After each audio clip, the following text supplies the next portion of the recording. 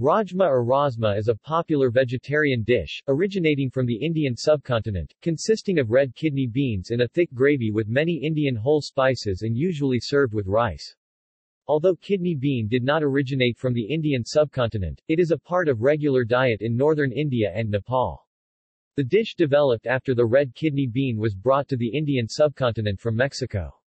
A 100-gram serving of boiled rajma beans contain about 140 calories, 5.7 grams of protein, 5.9 grams of fat and 18 grams of carbohydrate.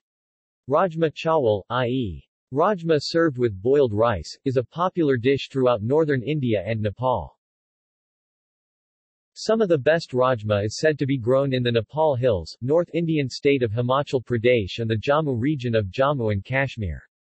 Rajma chawal served with chutney of anardana is the famous dish of Pira, a town in Ramban district of Jammu. Going further, the Rajma of Chinta Valley in Doda district, a short distance from the town of Bhaderwah of Jammu province are said to be amongst the most popular.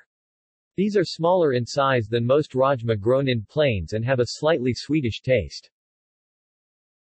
The combination of rajma and rice generally lists as a top favorite of North Indians and Nepalis. Rajma is prepared with onion, garlic and many spices in India, and it is one of the staple foods in Nepal. Rajma masala is a very popular dish in the northern states of India.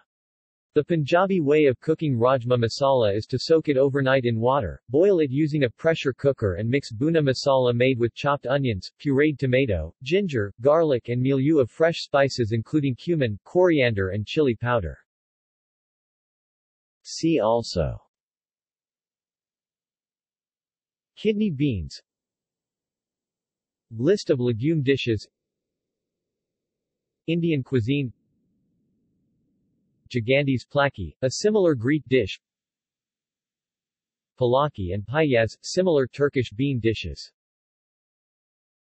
Red beans and rice, a Louisiana Creole specialty. Food portal References. External links